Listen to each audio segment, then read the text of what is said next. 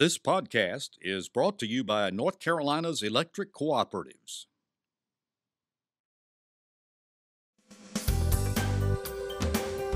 This is NC Spin, an unrehearsed discussion on issues of interest to North Carolinians. Now, here is your moderator, Tom Campbell. Thank you for joining the Father's Day edition of NC Spin. We've got an interesting show for you, beginning with bills our legislature is working on. We'll talk about North Carolina's efforts to establish racial justice, and if there's time, we want to discuss COVID 19's impact on local governments. But you can be sure, as always, we'll ask the panel to tell us something we don't know. Joining our panel this week are Bev Perdue, former governor of North Carolina, John Hood, syndicated columnist and author, Chris Fitzsimon, director of the States Newsroom, and Becki Gray, vice president of the John Locke Foundation. We'll begin our uninterrupted discussion after these brief messages from our underwriters. Today's tools make you a real DIYer, and as a member of an electric cooperative, you have lots of valuable tools to help you do it yourself in controlling your home energy use and budget, leaving you free to be dad.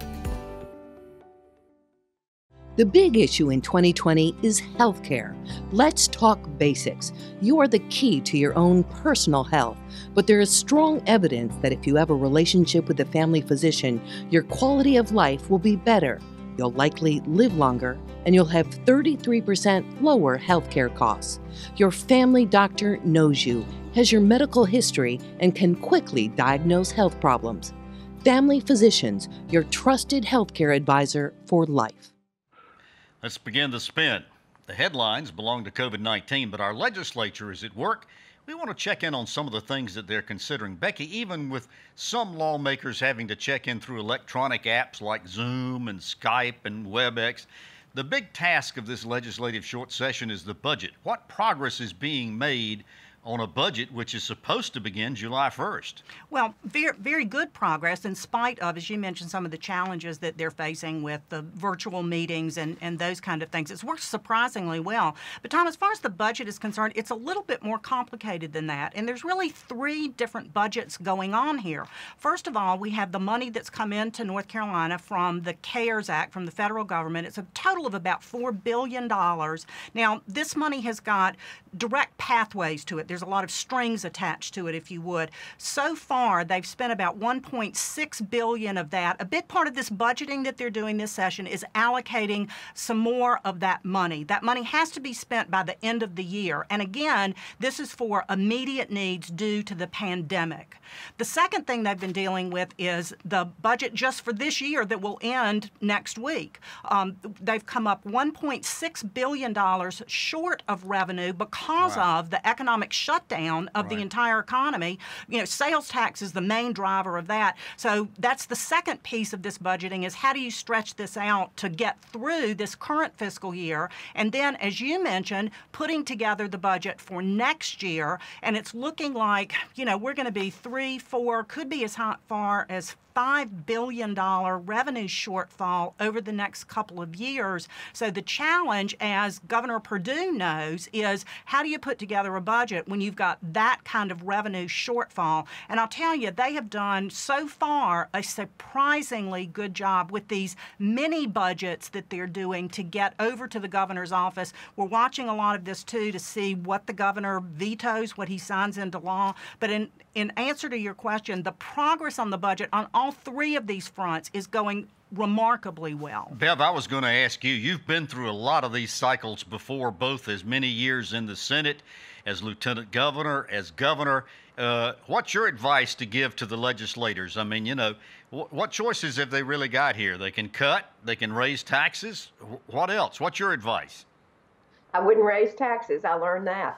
Uh, I, I think that they're doing a, a, a good job. I don't like the fact that the CARES money has not been, in my mind, appropriately allocated. There are so many small towns and communities across the state that didn't receive the money under the requirement of a half million people. There are folks all over the state who have had really thriving little startup business entrepreneurs who are going to be bankrupted. So I think the challenges are still there, and they're doing all they can do. Cuts and furloughs are really important, and I applaud their tenacity and their courage in making some of those decisions. They're This is- really brave. This is not an easy task, and I think I think most of us would agree with you from that standpoint. Uh, Chris, pay raises are off the table, except the legislature did provide a $350 bonus and step increases to our teachers. Now, uh, a lot of Democrats, a lot of people said, "No, that's not enough." What's your reaction to that? Well, I think it's the, it's the annual debate about how much we can pay teachers, and you know it's worth remembering the teachers uh, are more stressed and working just as hard or harder than they did trying to negotiate this whole new uh, world we're in with uh, with COVID-19 and and distance learning. They're going to face an uncertain return in the fall. Uh, I think picking up on on Becki's good summary of what's happening, the challenge really is as difficult as it is to figure out the federal money. Uh, and by the way, it's interesting that a lot of Republicans in 2007 and 8 who were complaining about federal money and didn't want it are now trying to figure out how to spend it. Uh, but in addition to this federal money and plugging the hole in the current fiscal year, the real question is, as Becki mentioned, three to four billion dollar shortfall next year. And remember, taxes aren't in until July 15th. Right. So we don't even know exactly yet how big the hole is, how big the tax collections are, which is why the General Assembly is coming back. We have a lot of challenges at the i- immediately. I think the biggest challenge for lawmakers and the governor is what do we do about the next biennial budget? Yeah. Well, I think Chris's point too of you know the shortfall, and again, I think we can't underestimate what this is and what they're facing. And so the fact that teachers have gotten their step increases and a $350 bonus, I mean, I commend the General Assembly for finding the money to do that. Now, you know, for, for some, and I think for the teacher union, you know, it will never be enough. But I think the fact that they have, have been able to find this money, you know, and it is, it, it is in large part symbolic of thanking teachers for the frontline work. But, you know, as, as Bev mentioned, there are a lot of businesses that are suffering. There's a lot of industries that are suffering. You know, everybody everybody's taking a hit with this. And I commend the General Assembly for finding although What al- albeit have. small, Yeah. but you know that they have made this nod towards John, uh, one of the things that I, I have not heard any discussion about in any large measure is budget cuts, furloughs, layoffs. Are they on the table? Well, you've heard budget cuts. I mean, that's what everybody's talking about. There've already been cut some some reductions. The governor, Right. I think, waited too long, but he did institute some constraints on spending a few weeks ago. Cuts are coming, as Governor Perdue said. Furlough, furloughs are coming. Uh, in in some cases, are already planned. Uh, just as in the private sector. I think one of the big things that uh, was mentioned briefly, but I want to expand on quickly, is the ability of North Carolina to use federal funds in the most efficient way. The way the Congress set up the initial wave of funding was fairly tightly constrained. Yes. And we've got to consider the fact that a, a very obvious and and uh, devastating impact of the coronavirus pandemic and the response to it is that lots of local governments are teetering on the brink of disaster. Exactly. In some cases, in small towns, uh, some places that, that they actually are facing uh, the, what would amount to bankruptcy, certainly insolvency. Uh, we've got to be able to figure out a solution to get through that. Uh, and ability to use federal funds to their highest efficient use, I think, has got to be something that Congress acts on so that Sure. the states can figure it out properly. And Bev, you've been through lots of these situations before where the feds give, but the feds have strings and tie your hands so that a lot of it can't be used the way you feel like it ought to be used. Let's move to some of the bills that are under consideration right now. One of the bills involves Medicaid managed care, which was supposed to begin this year. The legislature is now saying they they are in fact dictating it needs to begin by July 2021. Uh, Part of that bill also keeps the Department of Health and Human Services in Raleigh. It had been uh, proposed that it would be moved out of Raleigh. What's your reaction to this managed care bill? Are you well? I'll, I I'll, was I'll asking chime in. Bev. I was asking I'm Bev. sorry, I, I I didn't know who you were asking. I, I, my reaction is that I agree that DHHS should remain in Raleigh, but I do think the General Assembly has a great opportunity to move some of the other big departments out into the state. There's too much concentration in Raleigh. I don't believe, with all that's going on in healthcare today, with the confusion, the disruption, there's any way we could do managed care before 2021. I'm going to be curious if it can even be implemented there. And all in all, uh, the whole healthcare arena is very problematic to the state of North Carolina. We don't know really what's happening until we can get a breath Chris, from the front of another another bill, Chris, that is being considered uh, is a transportation bill. We've talked before on this show about all the problems that DOT is having, uh, and auditors report and so forth like that. Uh, in this transportation bill, however, it's going to change the way the Department of Transportation Board is named. 14 members will come each from the 14 uh, transportation districts in our state. And then instead of being able to port, uh, uh, appoint the rest of the members, the legislature is carving out six memberships, three from the House, three from the Senate. Your reaction to that? Well, I think it's an odd time during the middle of a pandemic and a budget crisis to be trying to uh, take more power away from the elected governor. We've had governors, we have one on the panel today. We've had a lot of problems with DOT off and on during administrations that are Democratic and Republicans. This is the first time we've now decided we're going to give the General Assembly appointment power and take power away. It also seems like a last minute uh, uh, bill to, as we're trying to crunch and get through uh, this initial session. Uh, I think this one is better to wait. Let's address the problems at DOT without taking power away from the governor. I think this is exactly the time that we need to do this. I mean, we've seen this overspending, we've seen mismanagement. As Chris mentioned, this has been going on for, for decades through Did several administrations. Governor Martin was governor, and there was a problem in DMV that we were going to take appointments away from the Department of Transportation. Well, Chris, there's mean, what- still the doing it now? majority of the appointments are with the governor. And if the General Assembly is going to be expected to come back and clean up messes that have been You didn't occurred the under question, the though. Are we just doing administration, they ought to have a have voice on the governance of it. Why didn't we do this when we had Republican governors? Well, why we now? probably Why- should why- have. why- Well, I mean, Well, what we we're prob- talking yeah, about, what we're, Okay, only one at a time, please. Just one at a time. I can't hear Well, I all mean, of this you. is insane that we're literally talking about power and appointments and taking power away without any study, any discussion about it. We had a bad audit at DOT. We've had 20 bad audits at DOT, and we ought to fix it. I don't think giving Phil Berger and Tim Moore the ability to appoint at-large members is going to solve all the problems. Well, but it's a step in that direction, and it's a step of authority, and it's also a step of accountability. And you know, yeah, don't we can, we can put this off and why don't we study it for another part of 20 the years. Legislative Services Commission and let Paul Coble appoint everybody. Maybe that'll solve the whole problem. All right, let's change subjects here. Uh, John Hood, Please. uh, uh, one of the things that's going on right now is a, a real problem. We talked about local governments before. One of the executive orders, and I think I understand why it was done, but Governor Cooper said those people who are affected by job losses, economic problems, and so forth like that would not have their utilities cut off uh, in the event they didn't pay their bills. Now, electricities and a lot of the local utilities and so forth are saying, wait a minute, this is driving them further into a hole. You think anything's going to be done about that? Well, about that DOT board, uh, no, I'm just, I'm just kidding. Uh, this is this is a significant problem. In fact, the municipality of La Grange has filed a, a suit uh, trying to challenge the governor's executive order because they want to be able to collect their utility fees. Uh, you can completely understand the the desire to suspend uh, terminations of service for people uh, because of the economic con- conditions are what they are, and lots of people are out of work. The problem is that local governments, uh, because they cannot turn off service, there are people who aren't paying their bills because they don't foresee that there's any. Not, not only will their service not be cut off, but they'll probably, they think, never Be be, forced to pay Yeah. their bills. Yeah.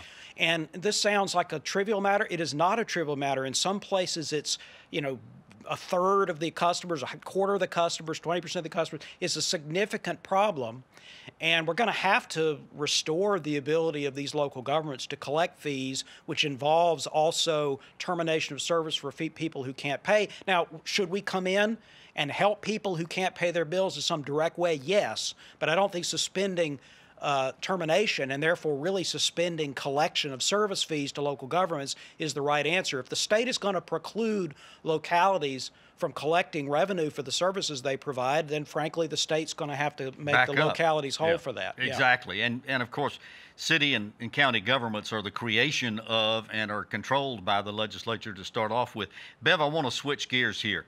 Um, a lot of discussion going on, a lot of communities. Raleigh instituted uh, mandatory face masks uh, Friday afternoon. Uh, Durham's had it for some time, Chapel Hill, a number of other communities across the state.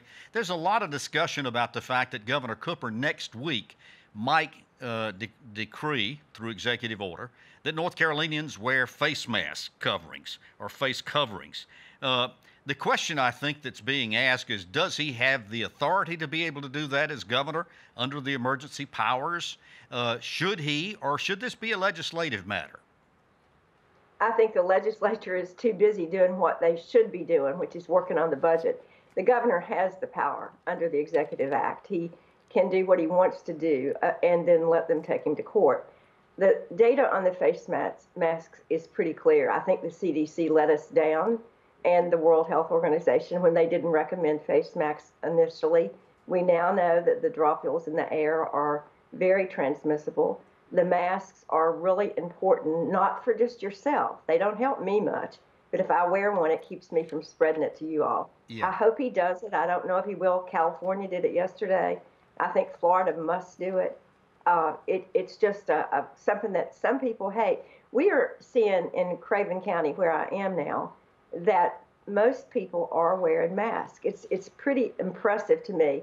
And then I was in Raleigh earlier this week, and you see very few masks there. So I, I, it's just the urbanites maybe who are fighting it. Let me switch gears again. Uh, Becki, uh, earlier this week, uh, Governor Cooper and the State Board of Education issued a plan in response to a court order by Judge Lee about the Leandro lawsuit. Uh, and they, their plan was to spend $427 million, much of which goes to teacher pay increases, uh, but to spend $427 million to try to settle uh, the inequities in funding uh, in, in North Carolina counties. Uh, the big question that Phil Berger raised is where's that money going to come from? We already got a problem here. Um, now, isn't this a, a, situation where we're between a rock and a hard place? The court's telling us we got to do one thing. Now the legislature's saying we ain't got the money to do it.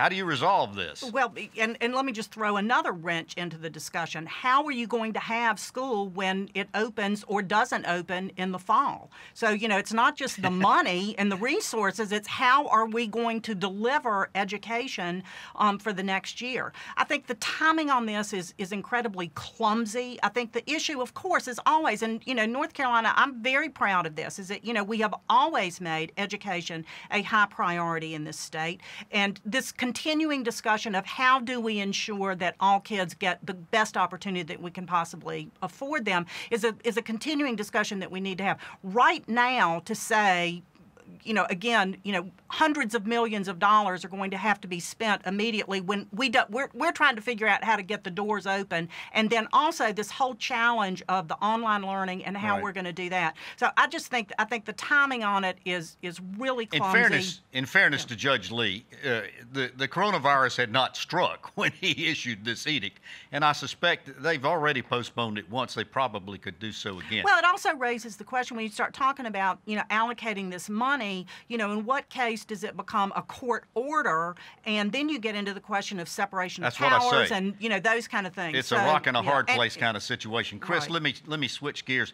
Uh, earlier in the session, there was a proposal that came out of the House uh, in which uh, Speaker Moore, particularly, wanted to see a $3.1 billion bond referendum put on the ballot uh, come November, primarily for universities, community colleges, uh, some roads, and things of that nature. It's moving, we understand, through the House. Number number one question. Uh, should this bill be passed into law? And number two, would the voters of North Carolina approve it right now? Well, I don't know what the voters would do. To answer your second question first, I think we don't know what the what the economy is going to be like. We know it's still going to be struggling. We don't know uh, what the coronavirus will be like. We don't know what the unemployment rate will be. I think it's a real question. I do think uh, North Carolinians have a history of investing in infrastructure. You can argue that when the economy is not doing well and interest rates are low, that it is a job creator. The problem is, I do think it'll pass the House, but the Senate leadership doesn't seem to have much appetite for it. All right, I don't have much time left in this segment, but John, I have to mention the fact that on Tuesday is election day for the runoff in the 11th congressional district. Uh, quickly, what are you hearing on that? What's the turnout going to be? What's your call for that election?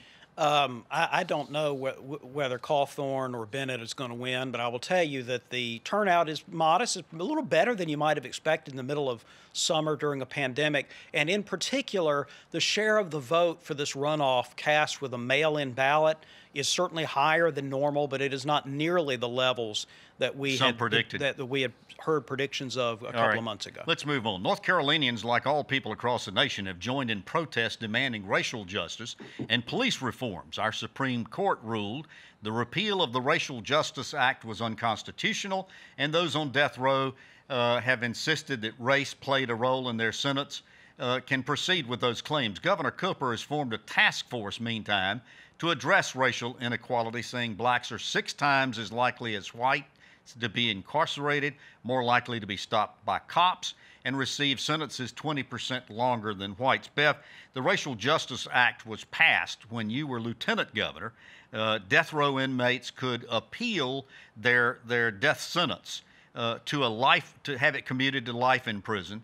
Uh, if they could demonstrate that race played a factor in their trial or in their sentences, the Supreme Court now says uh, that the repeal that the legislature passed back in 2013 is unconstitutional. Uh, and what do you think of this verdict? How big is this? It's a huge verdict for uh, equity. I, in, in my opinion, I've always been a supporter of the Racial Justice Act. I think if you look at the data that Cooper has offered to the people, the six percent figure is is not even equitable in terms of the death penalty cases. If I'm poor, if I'm African American, if I'm educated, then the chances of me in a murder trial going to death row are very significantly higher than me if I'm a white person able to afford the best lawyer in America. It's wrong, Tom. The Racial Justice Act allows people to at least uh, offer a case against racial bias Yes. in the determination of the, of the uh, outcome. Yeah. I, I hope to see that we can reinstitute something. It may not be just the racial justice parameters, but I'm really hopeful that the General Assembly and the Governor's Commission will move forward with some kind of protections wrapped Well, Chris, around. I wanted to ask a question about that. I don't. I, I, okay, the legislature did, I think, a good thing in passing the Step One uh, uh, Act, which will give judges the authority to to ease sentences for first offenders and minor offenses and so forth. And of course, we talked about last week that they can expunge now criminal records uh, for minor offenses. I'm not hearing a, a, a plethora of bills coming out of the legislature on uh, police reform and uh, things of that nature. Uh, are they there and I just don't hear about them? Well, you certainly, I don't know. I mean, I think we do need to hear about them. I hope that if they don't take it up before they leave this time, that will be an emphasis when they come back to do the budget. Uh, a lot of states, some states are having special sessions. Uh, some states, even with Republican governors, are having legislation introduced to change police tactics. I do think this is really important. I think the Racial Justice Act, getting back to the original question, uh, is something that was passed. Not, it, I think it's really important, and you mentioned it. Nobody gets out of prison. There was a Republican candidate. Republicans ran for office not too many years ago, claiming that people are going to get out of prison to come to your neighborhoods. It's about air, fairness in how that capital punishment is applied. That's it. Yeah. Uh, there's an organization, John, that's been formed, NC Born, uh, which is calling for dismantling uh, local law enforcement agencies uh, and doing away. You wrote a column about this this week. I've got about a minute left in this topic. Uh, let's talk about that. They want to ban tear gas, rubber bullets, no knock warrants. They want more transparency. They want uh, law enforcement people to be wear, uh, be required to wear cameras. If they don't, they could be charged with a felony. Uh, what's up with all of that? Some of those ideas are worth considering. Some of them are preposterous. Uh, very few of the uh, demands of this organization are going to be taken seriously because of the other proposals that it has that, that it's that, that it is supporting. I mean, the defund the police part of the protest message is very unpopular. And the more they talk about that kind of thing, the more they distract from things that could, in fact, have significant bipartisan support police reforms, changes in the uh, transparency requirements. That's the kind of thing I think the legislature and local government should be looking at. Uh, and many local governments are, in fact, forming uh, commissions and are doing examinations so far as their local police departments and can be applauded for that. Uh, Floyd McKissick, Senator Floyd McKissick, made an interesting statement last week when he said we need more training for our law enforcement people. He said that uh, law enforcement agencies are required to have only half the amount of training that it would require to become a barber in North Carolina or a hairdresser in North Carolina. Uh, we're going to see more training coming out of here, Becki? Yeah, I think so, and uh, I don't more or I would argue better training. Um, you know, just real quick, I think probably the answer to the barber police question is we require too many hours to become a barber. Um, you know, of, of that equation. But I think this is an issue that that requires some real thought and real study, and you know, we need to be careful that we understand and that we recognize where the opportunities for improvement are. All right, in I got North about 30 Carolina, seconds not left in react show. to national. I'm sorry, I got to cut you off, Becki. That's okay. Uh, real quickly, uh, December 1 is the date this task force is supposed to report back to the governor in about uh, 20 seconds, Bev. A- any expectation of this task force? No, uh, I think it's too early. I think there's too much pressure. I think there will be recommendations from uh, rank and file legislators. All right. Well, fast show. Thank you all. We've heard our spin on the issues of the day to stay informed all during the week. Sign up for our free weekly email newsletter. Uh, give your feedback and read my weekly column. Visit our website, ncspin.com, or catch us on Facebook. In the meantime, be sure to stay informed and watch out for the spin.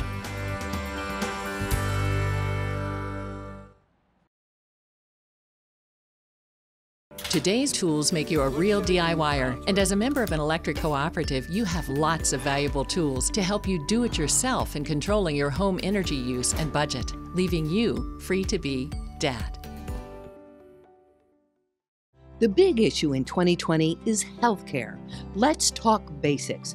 You are the key to your own personal health, but there is strong evidence that if you have a relationship with a family physician, your quality of life will be better. You'll likely live longer, and you'll have 33% lower healthcare costs.